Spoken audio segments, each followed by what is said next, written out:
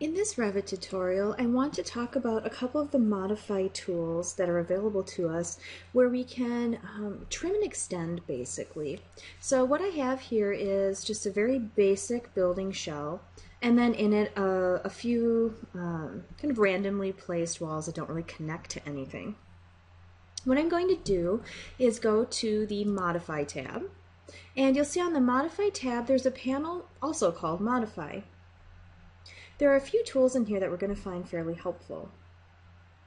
You'll see that uh, although the exterior walls are connected and cleaned up nicely at the corners, um, the interior ones are just kind of floating. Well, if I actually wanted these to be solid rooms, what I'll need to do is extend the walls. Now, you can actually select a wall, grab the uh, grip at the end, and do that manually. Uh, and when you do that, it looks perfectly fine and there's nothing wrong with that. I'm just going to uh, Control Z to undo that. Um, but you can use some of the uh, modify tools to maybe make that a little bit faster. On the modify panel, we have uh, the option to trim extend a single element or multiple elements, the button right next to it. Well, in this case, if I have these three walls that I would like to extend out to the exterior wall, I might choose the trim extend multiple elements.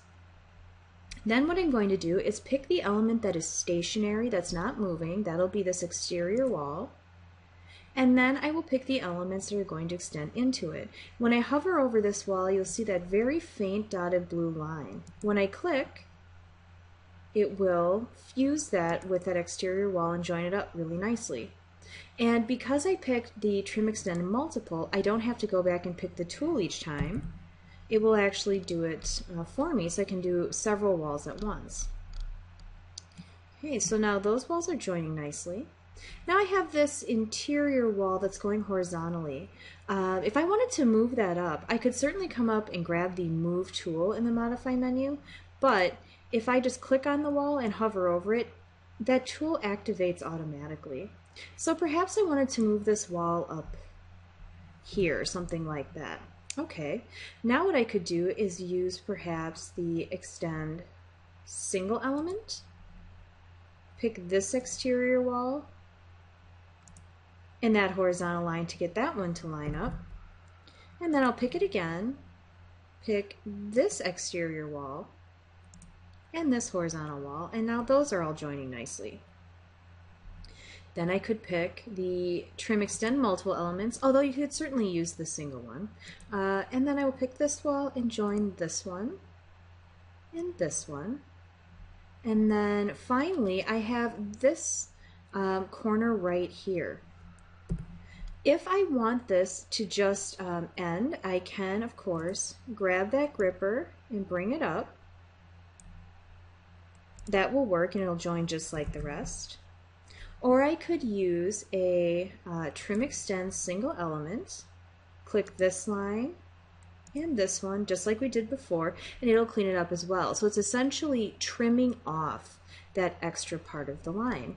And now we have uh, four office spaces or whatever it might be where all of the walls are joined together very neatly. Um, if, for example, we wanted to do um, maybe where there's three closed rooms and one open space, that's where we might come in and use uh, another tool in the Modify panel called Trim Extend to Corner. When you pick this tool, what you need to do are pick the two lines that uh, you want to keep. So if I wanted to keep this wall and then this wall right here, but essentially open this space up, if I click on the two parts that I want to keep, it will actually cut the rest of that corner off. If uh, I wanted to make that a little more obvious, what I'm going to do is just draw a couple of walls just out in the room.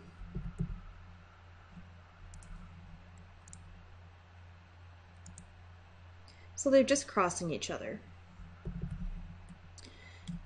So when you use the modify tool of trim extend to corner, you click on the two walls that you want to keep and the other two will disappear. So for example, if I click here and here, I will get rid of these two lines. So I'll click here and here and it got rid of that extra um, geometry outside. If I undo that and click here, for example, and here, it will get rid of the other remaining corners. So it's a very handy tool. It works not only with walls, but when you're working with sketch-based elements and lines and that type of thing. Once again, that can be extremely useful.